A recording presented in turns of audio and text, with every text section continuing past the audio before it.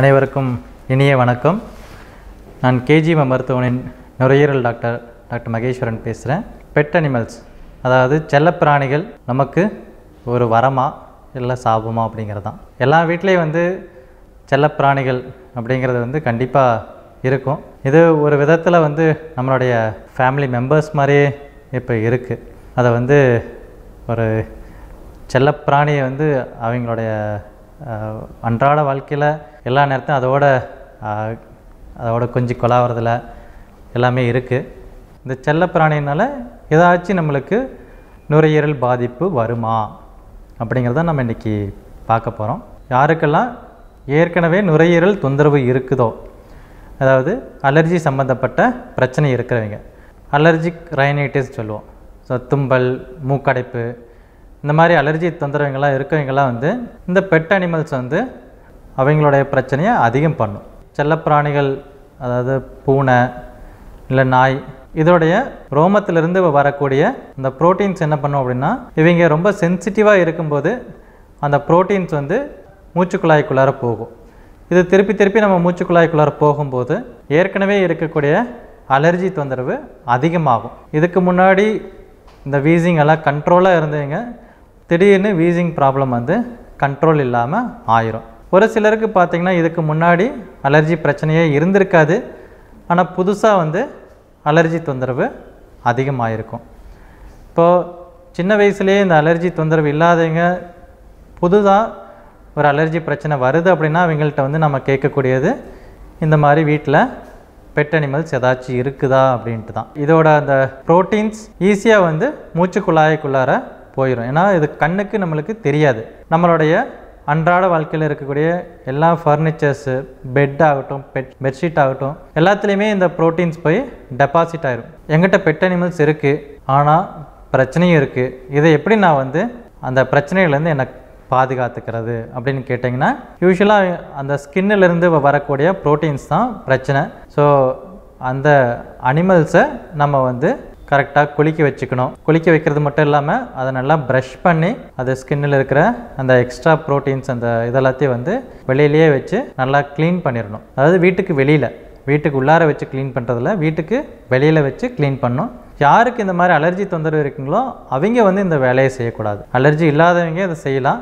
But செஞ்சாலும் மாஸ்க்கை போட்டுட்டு தான் இதை வந்து செய்யணும்.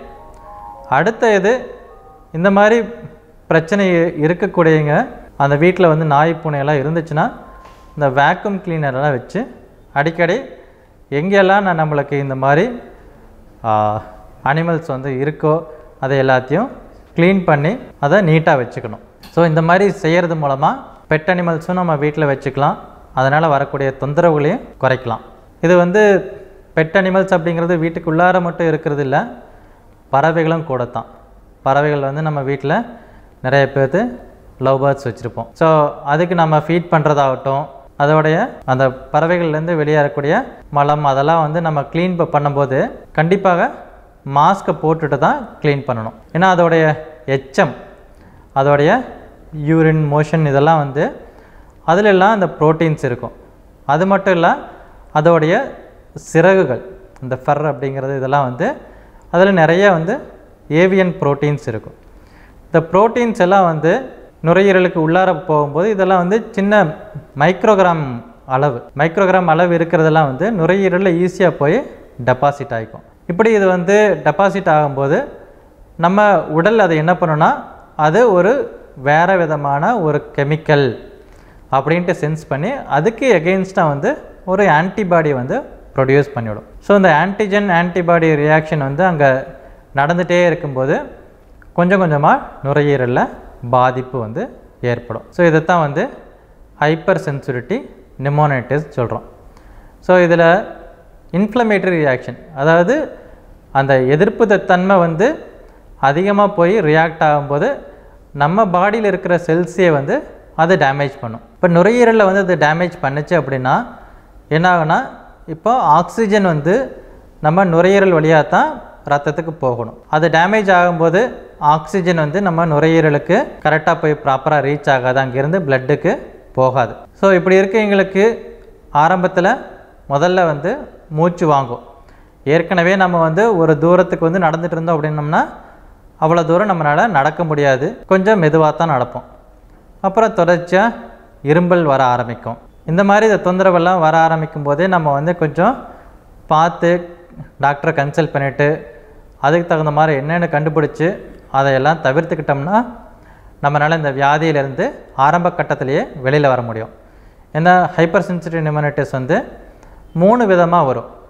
அக்யூட்டாக இருக்கும் சப் அக்யூட்டாக இருக்கும் க்ரானிக்காக இருக்கும். அக்யூட்னா ரொம்ப ஃபாஸ்ட்டாக டக்குன்னு வருது ஸோ இதில் வந்து திடீர்னு மூச்சு வாங்க ஆரம்பிச்சிரும் இரும்பல் அதிகமாக இருக்கும். இது கண்டிப்பாக வந்து எல்லாருமே ஹாஸ்பிட்டலில் வந்து செக் பண்ணிடுவாங்க ஆனால் இந்த சப் அக்யூட் ஃபார்ம் வந்து அப்படியே ரொம்ப கிராஜுவலாக மெது மெதுவாக வரக்கூடிய பிரச்சனை. நம்ம யூஸ்வலாக என்ன பண்ணிடுவோம் நம்மளுக்கு இந்த மூச்சு வாங்குற பிரச்சனை ரொம்ப நாளாகவே இருக்குது இது நம்ம வேலை செய்யாதனால வந்திருக்கு.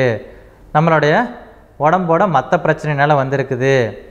அப்படின்ட்டு இன்றைக்கி போகலாம் நாளைக்கு போகலாம் அப்படின்ட்டு மாதத்தை கடத்திடுவோம் அப்படி நம்ம வந்து லேட்டாக வரும்போது நுரையீரல் பாதிப்பு அதிகமாக இருக்கும். அப்போ வந்து ஒரு இர்ரிவர்சிபிள் ஸ்டேஜில் போயிடும் சப்பக்யூட் ஃபார்முங்கிறது வந்து மூணு வாரத்துலேருந்து எட்டு வாரம் வரைக்கும். ஸோ அப்போ அந்த ஸ்டேஜில் நம்ம வந்து முதல்லே கண்டுபிடிச்சிட்டோம்னா ஈஸி இல்லை அப்படின்னா அதுலேருந்து கிரானிக் ஃபார்முக்கு போகும். கிரானிக் ஃபார்ம் போயிடுச்சுன்னா அது வந்து நுரையீரலை முழுமையாக டேமேஜ் ஆயிரும். இப்போ அதுலேருந்து ரிவர்சிபிலிட்டி அதாவது நார்மலாக நுரையீரல் ஃபங்க்ஷன் திரும்புறதுக்கு சான்சஸ் வந்து ரொம்ப கம்மி. ஸோ நுரையீரல் பாதிப்பு அதிகமாயிரும். இது எக்ஸ்பெஷலி இப்போ பார்த்திங்கன்னா இப்போ நம்ம இதில் வந்து நிறைய அப்பார்ட்மெண்ட் கல்ச்சர்ஸ் இருக்குது ஸோ அப்பார்ட்மெண்ட்ஸில் நிறைய இப்போ பார்த்திங்கன்னா இந்த புறாக்கள் வந்து நிறைய இருக்கும். ஸோ அதில் எக்ஸ்பெஷலி நம்ம ஏசி ஆகட்டும் ஸோ அதெல்லாம் அவுட்டோரெல்லாம் மேக்ஸிமம் வெளியில் தான் இருக்கும். ஸோ எப்படி இருந்தாலும் அதோட அந்த புறாக்களோட எச்சம் வந்து அந்த பக்கத்தில் இருக்கும். ஸோ ப்ராப்பராக அந்த அவுட்டோரை வந்து க்ளீன் பண்ணிக்கணும்.